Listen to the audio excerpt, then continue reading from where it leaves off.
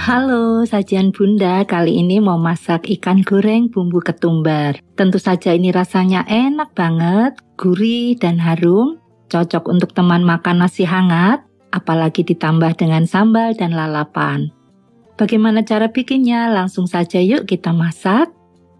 Untuk bahan saya sudah siapkan 3 ekor ikan nila, ini kurang lebih 500 gram yang sudah dicuci bersih. Dan pastikan isi perut serta insangnya sudah bersih, bagian sisi-sisinya juga sudah dikerat-kerat seperti ini, supaya nanti bumbunya meresap sampai ke dalam.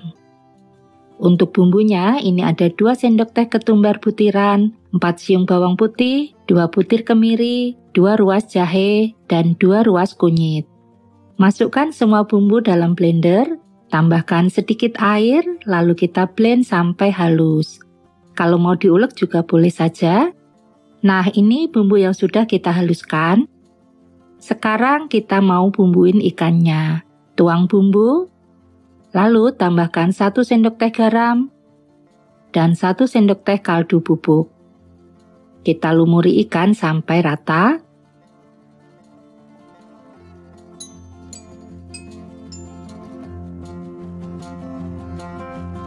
Untuk ikannya, teman-teman boleh juga pakai ikan jenis lainnya, boleh ikan laut ataupun ikan air tawar. Kita lumuri semua bagian ikan. Bagian yang dikerat-kerat kita beri bumbu juga seperti ini. Jangan lupa bagian perut juga kita lumuri bumbu supaya nanti gurihnya merata. Kalau sudah selesai kita lumuri ikannya, kita akan biarkan beberapa saat, kurang lebih 10-15 menit supaya bumbu meresap. Setelah 10-15 menit, sekarang kita akan goreng ikannya. Panaskan secukupnya minyak goreng, taburi dengan sedikit terigu supaya saat digoreng ikan tidak meletup. Masukkan ikan yang sudah kita bumbuin.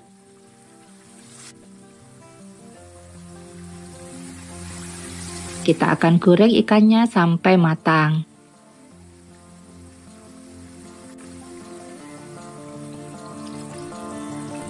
Jangan lupa ikannya dibalik supaya matang merata.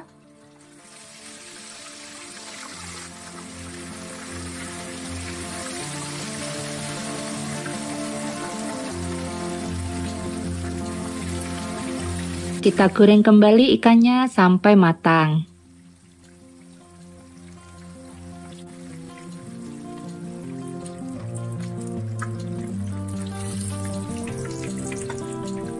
Nah, sekarang ikannya sudah matang di kedua sisinya, kita bisa angkat lalu tiriskan.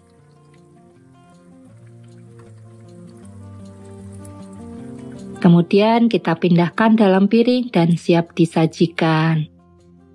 Teman-teman tinggal siapkan nasi hangat, disantap dengan sambal dan lalapan pastinya mantap banget rasanya. Beneran ini aromanya harum, rasa daging ikannya tuh gurih sampai ke tulang,